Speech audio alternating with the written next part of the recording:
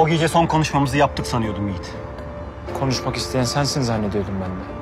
Ne yapacaksın sen? Beni sürekli sana aynı şeyleri anlatmak zorunda mı bırakacaksın? Hadi ama dahi çocuk. Neden Nur'un evinden çıktığımı çok iyi biliyorsun. Değil mi? Ha? Neden hala korkuyorsun? Ben kendim için korkmuyorum Yiğit. Nur için korkuyorum. Seni her gördüğümde, birbirinize her teğet geçtiğinizde onun ne hale geldiğini bildiğim için korkuyorum. Onu görmemek için elimden geleni yapacağımı da bil o zaman. Bilmem ki bu senin elinde mi Yiğit? Siz birbirinizin yörüngesine dönüp durduğunuz sürece hayat kimse için kolay olmayacak. Kalıyor değil mi? Tabii. O evde kalıyor. Bak. O zaman benimle boşu boşuna vakit harcayacağına bana da hepimize de bir iyilik yap. O süper güçlerini kullan da nerede olduğunu bana söylemeyen o Allah'ın belası abimin yerini bulmamda bana yardımcı ol. Bul da Nur da elması bırakıp yoluna baksın. Hayatta herkes için normale dönsün tamam mı? Bu söylediğine sen kendin inanıyor musun? Ya boşuna üstüme geliyorsun. Nur'la ilgili ne söylediysem o. Bana ne söyledin ki? Unuttum gitti. Ama bana söylemedin. Söyleyemediğim bir şey hatırlatabilirim sana. Bana veremediğin cevabı hala unutmadım Yiğit. Ya seni hiçbir şey için ikna etmek zorunda değilim ben. Sana Nur'dan vazgeçtin mi diye sormuştum. Bana hala cevap vermedin.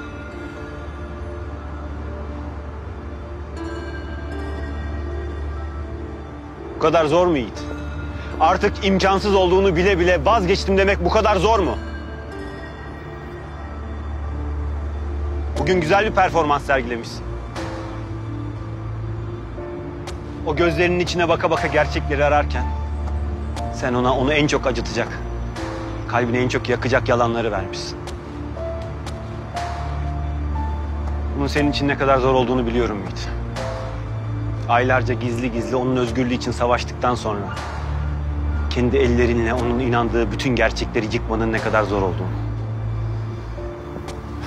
Ya bak, senden takdir falan beklemiyorum. Kafa ütülemeyi kes ve yapman gerekeni yap. Şimdi git Nur'un yanında ol, tamam mı?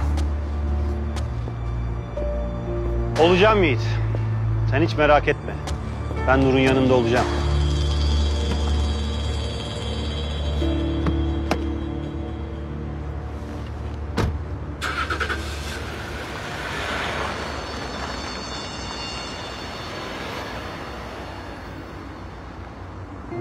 Aklın başında değil ama kalmana çok sevindim. Yani uzaklara gitmek isteyeceğinden emindik. Uzaklardan konuşmayalım şimdi. Hepinizi o kadar çok özledim ki. Hay Allah ya. Sen bugün hapisten çıktın. E daha nasılsın, yaran nasıl, kafan nasıl sormadık bile. Daha iyi. İnan bana sormamanız daha iyi. Kendimden bahsedecek kadar güçlü değilim. Burada olmak iyi gelmiyor tabii değil mi? Çoktan taşınmamız gerekirdi. Ama o şerefsiz ha bugün nikah, ha yarın diye oyalayıp durdu. E babamlar hastanede zaten çıkamıyorlar. Açıkçası benim de işime geldi burası. Bencillik ettim işte. Seninle o kadar gurur duyuyorum ki. Kendi emeğinle paranı kazanıyorsun. Ailene bakıyorsun. Kiramızı ödüyorsun. Ya Ama burası sana Ama ne dedim ben sana? Benden bahsetmek yok. Hadi senden konuşalım biraz. Bir dakika. Efendim canım. Canım mı? Aşkıma ne oldu pardon? Ay şu ablanın baskınından sonra küs müyüz yoksa? Hayır yani küsecek biri varsa o benim de çünkü. Neyse. Ya ne alakası var? Şey biz konuşuyorduk da. Siz derken? Sen kimlesin Emin? Nurla. Alo. Oraya döndü demek. Neyse yorum yapmayacağım. Şey tamam ee, sonra konuşalım mı? Ay Emin ne sonrası? Biz beş dakika sonra buluşuyoruz seninle zaten. Bu gece programımız var unuttun mu?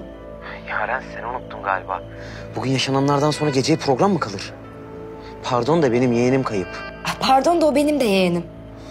Ya bak Yaren. Emin'cim ya bir yarım saat dışarı çıkacağız, bir yemek yiyeceğiz, kafamızı dağıtacağız, döneceğiz.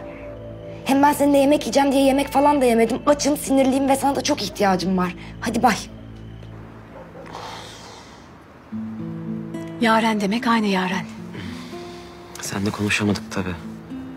Yani şey Yaren meselesini. Eğer kalbindeki gerçekten yarense başka kimsenin yanında böyle gözlerini kaçırma. Ama yaren değilse eğer yaren sadece eski o güveni olmayan toy delikanlının hevesi ise sakın ola. Geçici bir hevesin kalbini zedelemesine izin verme. Ne alaka? Sen şimdi öyle heves meves falan ne diyorsun ya? Ben de bir ablan olarak söylemem gerekeni söyledim. Gerisi sana kalmış. Kalbindeki ve yanındaki aynıysa aynada kendi gözlerine bile rahat bakabilirsin. Şey... Ben gideyim artık. Sonra şey yaparız, konuşuruz. Sen de dinlen. İyi eğlenceler. Yes.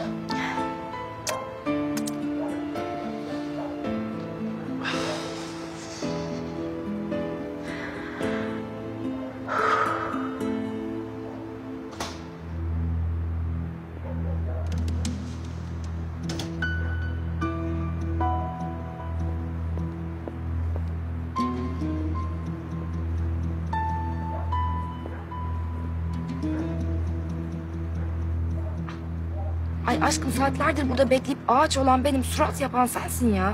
Surat falan yaptığım yok benim. Ya ne halde olduğumuzu bilmiyormuş gibi ne yapmamı bekliyorsun? Zil takıp oynayayım mı? Ya Emin'cim aşkım benim ya. Yani şöyle bir iki dakika kafamızı dağıtmayalım mı? Dağıtacak kafa mı kaldı bende Yaren? Ya Emin'cim bütün yazı zaten bu ailevi meselelerle tartışarak geçirmedik mi? Yani Nur ve Mert için yettiğimiz kavgalar yetmedi mi? Hem ayrıca o ismi lazım dilden hiç bahsetmiyorum bile farkındaysan. Ba- ba- bahsetme zaten ondan evet bahsetme. E ama biz birbirimize ne söz vermiştik? Hani ailelerimiz arasında ne olursa olsun bu bizim ilişkimize yansımayacaktı. Haklısın. Haklısın. Bak tamam ben de bazen anlayışsız olabiliyorum ama elimden geleni yapıyorum. Yani tamam benim de yeğenim için yüreğim parçalanıyor ama en azından artık Nur demiyorum. Ama bak Nur mahkemede Tamam tatlım tamam biliyorum. Neyse. Yani şu an mesela aslında normalde sana derdim ki Nur gönüllerin mahkemesinde hala mahkum ama demiyorum. Bak demiyorum. Hı?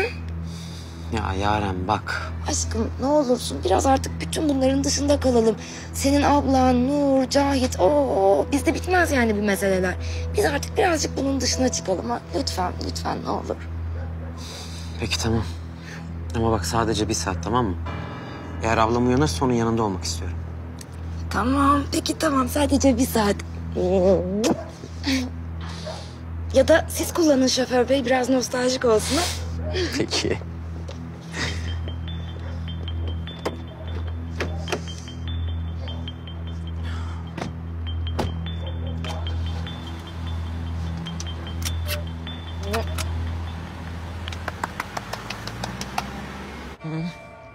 Utanmadan, sıkılmadan geldi burnumuzun dibine girdi yine. Duydun değil mi Yaren'i?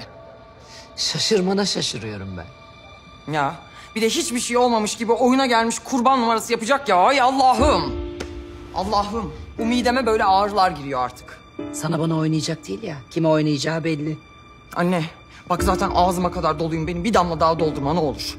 Ya küçücük çocuğu sakat bırakıp gözünün yaşına bakmadan aklandım diye böyle salına salına ortalıkta dolanıp bize hava atmaya dönmedi herhalde buraya. Hani gayet iyi biliyoruz kimin için döndüğünü. Söylemene gerek yok biliyoruz. Aklını başına topla. Daha kanlı savaşmak zorundayız. Anne sanki savaşacak bir şey varmış gibi. Bu bizim kan savaşımız artık. O kadın senin çocuğunun kanını döktü. Onu o kanda boğmazsak bize yazıklar olsun zaten. Ne yapayım anneciğim? Hı?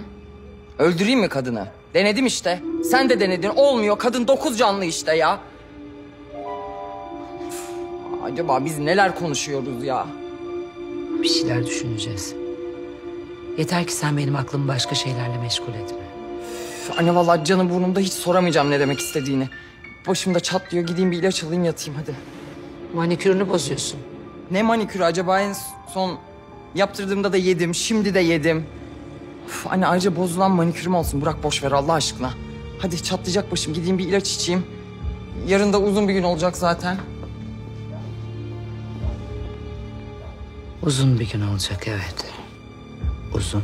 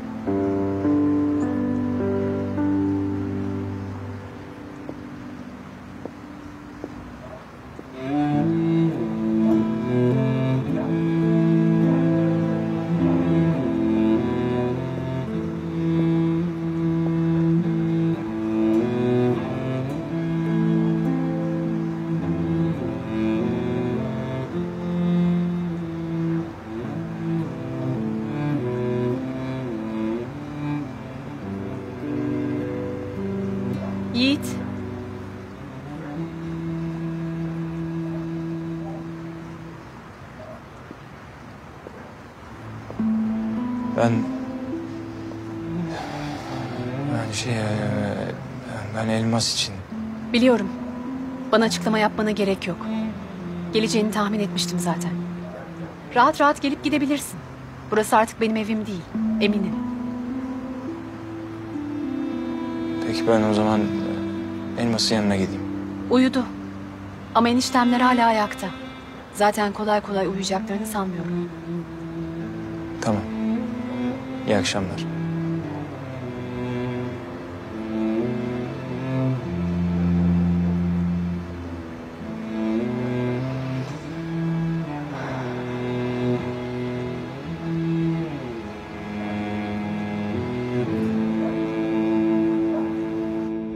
Nasıl yani Yiğit Bey? Nasıl torunum yok? Bir dakika Tayyar Efendi bir sakin ol. Önce bir oturalım. Ya bulamadın mı herif ha? Yapışamadın mı yakasına?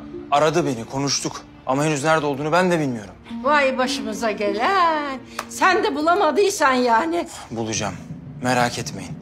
Önce bir oturalım anlatacaklarım var. Nasıl oturalım Yiğit Bey ya? O herif benim yavrumun yavrusunu çaldı ya. Biliyor mu hem dünyalığını hem ahretliğini yok etti yavruyu anasından ayırarak. Tamam anlıyorum ama artık bırakın dövülmeyi. Aklımda bir şey var. Hepsini tek tek anlatacağım size. Elmas da sabah gözünü açar açmaz hepsini uygulayacak. Harfi harfine.